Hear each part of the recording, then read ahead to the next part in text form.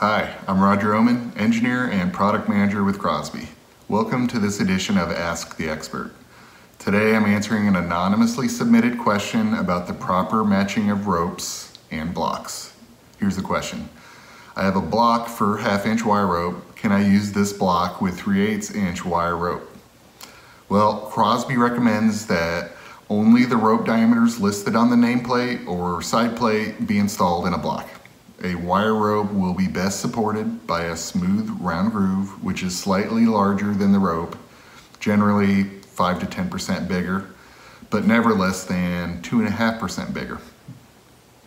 If a rope is installed in a groove that is significantly larger than the rope, then it may be able to flatten, which may decrease the rope's breaking strength and cause accelerated wear of the rope over time.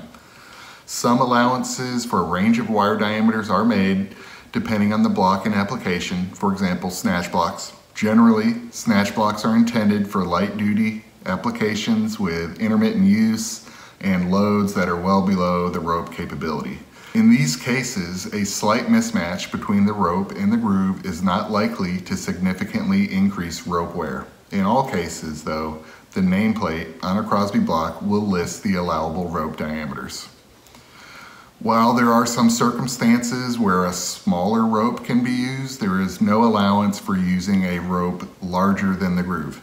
This can occur when an incorrect sheave or rope are paired together or when the sheave has become so worn that the groove diameter has shrunk below the minimum size of nominal plus 2.5%.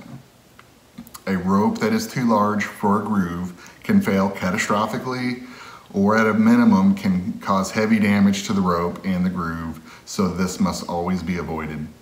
Thank you for the great question. We'll see you next time on Ask the Expert.